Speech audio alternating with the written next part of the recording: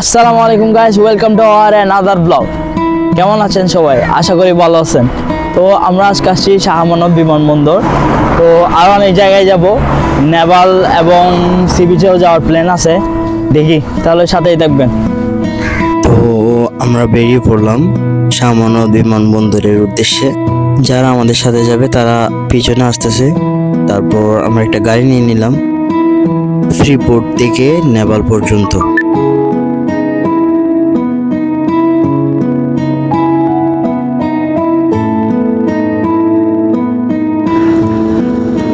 মাশাল্লাহ সুন্দর সুন্দর রাস্তাঘাট। দেখতে দেখতে আমরা পৌঁছে গেলাম শাহমানত বিমানবন্দরের সামনে। তারপর সবার এন্ট্রি শাহমানত বিমানবন্দর।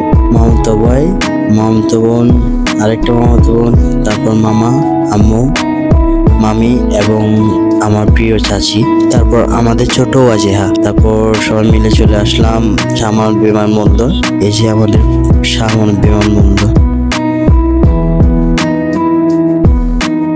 অনেকক্ষণ লাগেজ কারগুলা নিয়ে আমরা মজা দুষ্টামি করার পর কিছুক্ষণ পর আমরা আবার বেরিয়ে পড়লাম নেপাল যাওয়ার উদ্দেশ্যে। বেরিয়ে তারপর আমরা নেপাল চলে আসছি।